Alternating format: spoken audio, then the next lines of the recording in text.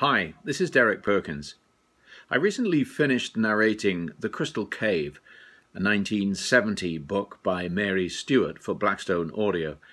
It's the first in a trilogy of books about Merlin the magician of legend, and uh, Stewart, as a classically trained author, had a great interest in post Roman British history, and she weaved the threads of that history with all the tribal warfare, the multiple kingdoms, the attacks from the Saxons, into such a compelling narrative, so beautifully written that it was an absolute pleasure to read. Merlin wanders far and wide, first to find his father and then somewhere to live, through Britain, uh, Wales, Ireland, England, uh, Brittany, and uh, finally ends up in uh, a cave in the Carmarthen Hills, which happens to be very close to a, where I lived for a number of years. So that helped uh, me to relate even more to this book and to certainly make the Welsh pronunciations easier.